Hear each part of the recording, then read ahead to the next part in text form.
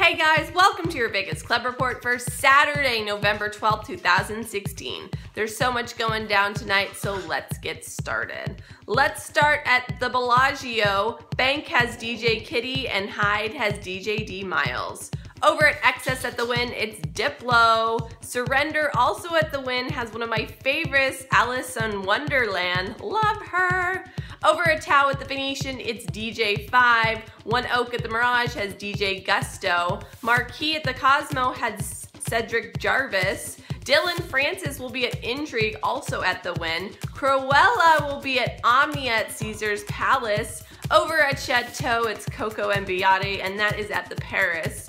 Drai's at the Cromwell has Trey Songz. Hakkasan at MGM Grand has Tiesto. Whoop whoop. So much happening tonight. Light at Mandalay Bay has DJ E Rock. And Jewel at Aria has Lil Jon.